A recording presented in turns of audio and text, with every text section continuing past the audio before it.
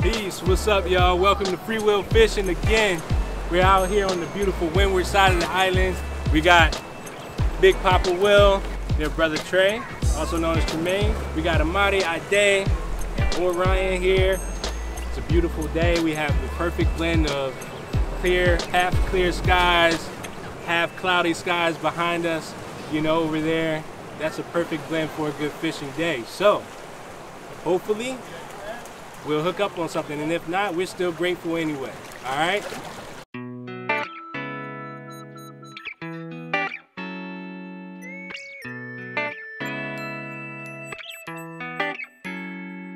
in line.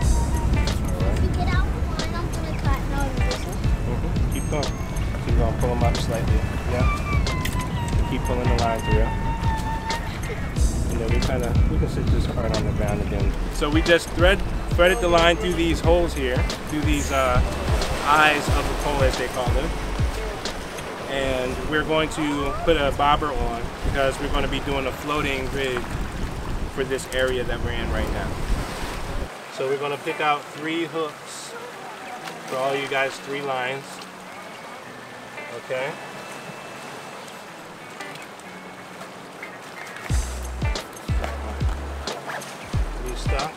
And this is what we want to do first. Because we care about the, the fish and getting them off safely. Especially if we're going to do a lot of catch and release. Because you see the hook, right? It has a tiny barb right there. What we're going to do is actually bend this barb in by squeezing it with these pliers. Okay, we're going to bend this barb in. This makes it a lot easier for us to unhook the fish. You see that? So that little tiny barb on the inside, we want that flat as we can get it. If not, break it. But it's flat right now. So, oops, it's okay. so that's what we're to do. And here's the next thing we're to do to help the fish out and to help us to hook the fish easier is that we bend the hook just a little bit. You see this, Orion? We bend the hook just a little bit. This is called offsetting the hook. Okay. You offset it so that it hooks up. Make a leader line. I'm gonna use, I like to use a 12 pound test, even though the fish that we'll probably be catching will be like one, one and a half pounds at the most. Two pounds if you're really lucky. But 12 pound test, uh, a one and a half pound fish can break 10 pound test or eight pound test. It's usually harder for them to break 12 pound test. So we're gonna, you know, do maybe this about this length of leader. Okay, and a leader is just basically your hook line, and that is going to be on the end. So I'm going to do a Palomar knot on this also. Okay, so I passed it through. Yeah, and I'm passing it right back through. Of like threading a needle. All right. So what we can do here, make sure your grip is good. And what we're doing is doing a regular overhand knot like this. Regular overhand knot. And then we're going to pass the hook through this loop that's here. So this takes some practice, especially when it comes to not hooking yourself. so I'm going to, so that I can grab this hook but still hold on to the line, I'm grabbing it with these pliers. You see this? Makes it a lot easier and you don't have to worry about hooking yourself. Yeah? So this is your leader line. I'm going to clip this little end off so it's not in the way. Right. Uh-oh. You got a nice one on there. Come on, come on. Come on. Woo! Put it, put it, put You got a nice one on there. That's something new. That's uh, I'm not sure. Thanks, grandson. Let me see. Wait, we might not have to put it. Oh, my bad. I walked straight to the video. Oh, he, he got off. Give me that.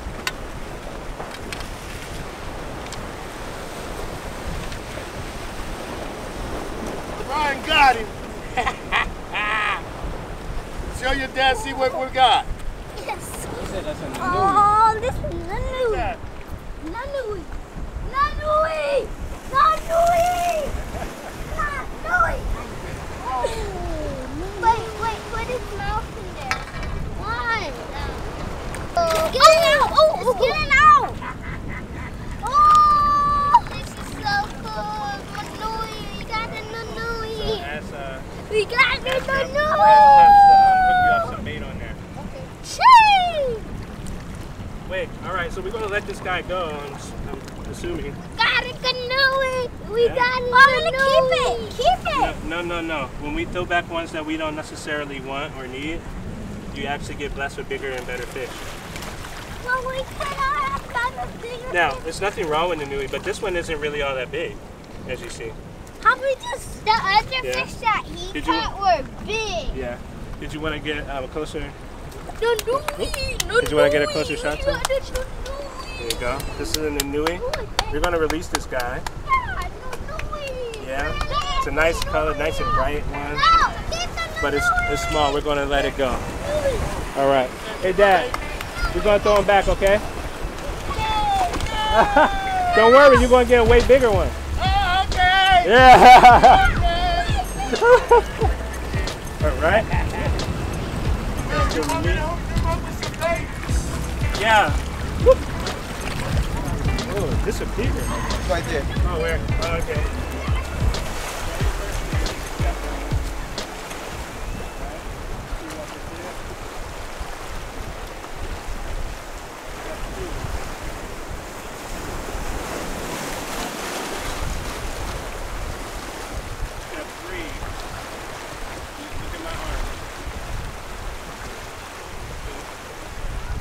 Three.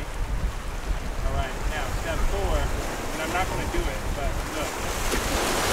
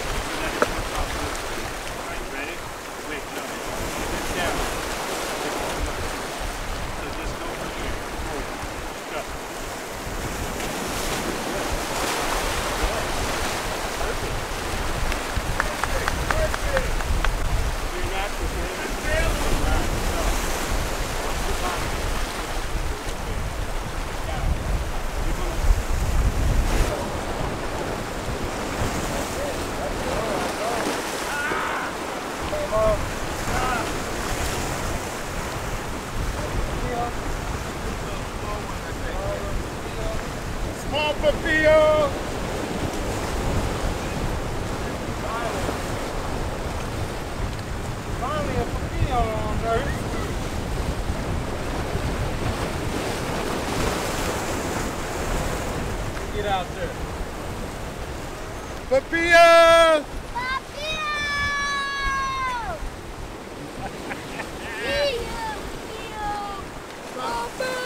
Papio! Papillo. Hold on, hold on. He's not big enough for me to take him home yet. No, And that's all about the fish life. and we're enjoying ourselves. The weather's beautiful. Can't they can't ask for better. No. You know, I'm very grateful. Hawaii, you gotta love it. Look at this amazing view out here. You gotta love this water.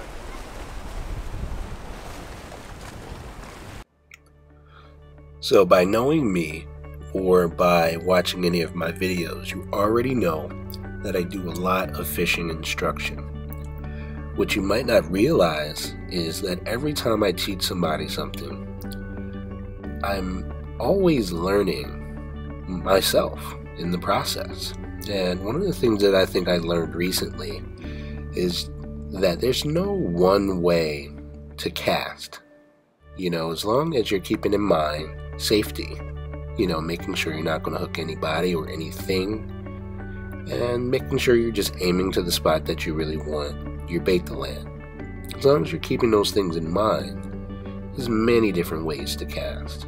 And as you're witnessing now, three different ways of casting, and they all look equally awesome in slow mo.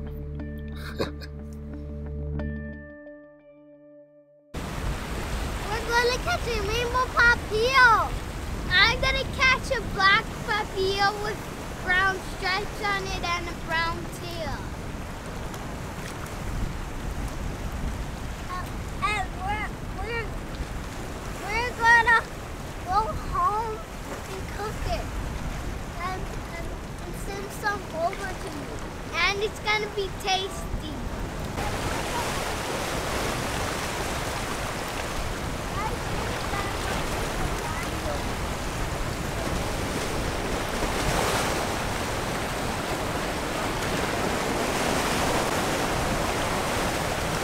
Up. Oh, whoa, don't pull too hard, don't pull too hard, don't, don't pull too hard, you might hurt it. Oh, another papio. Woo! You getting that? You getting that? You getting that baby one?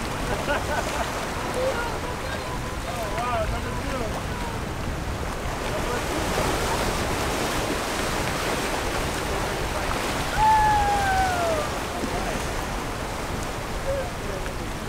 Papio number two.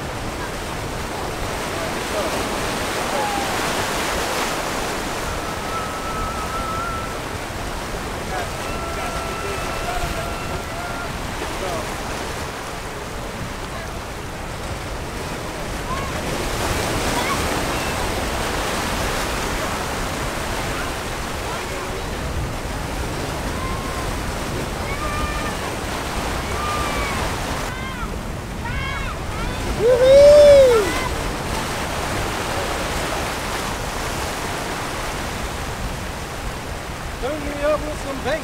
Come on, gonna be late.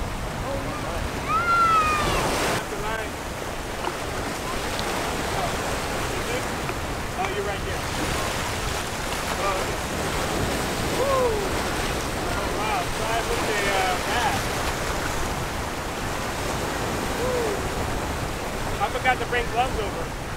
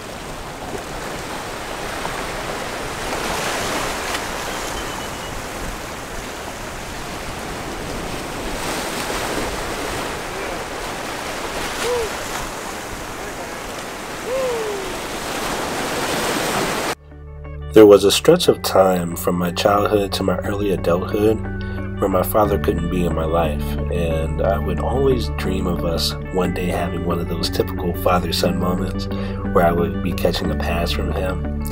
Now, I'm going to be honest, I definitely didn't imagine him throwing me some pliers wrapped in fishing gloves. but this moment that you're watching could not have felt more perfect.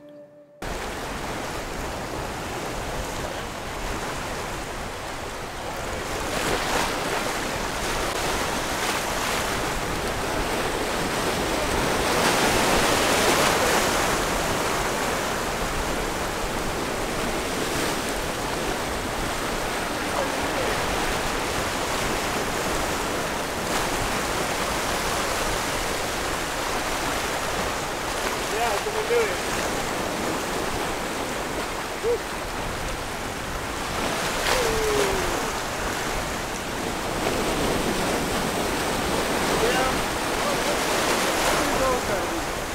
Huh?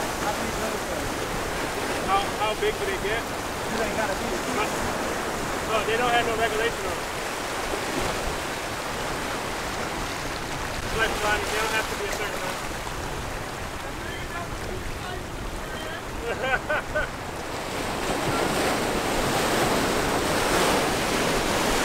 Do it.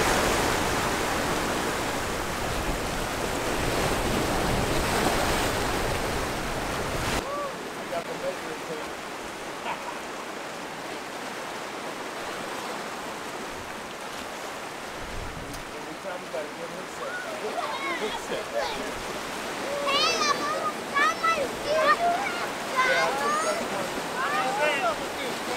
ain't, I ain't been lying to you all day. We told you this is your name. I ain't lied to you all day, did I? That's a bring home.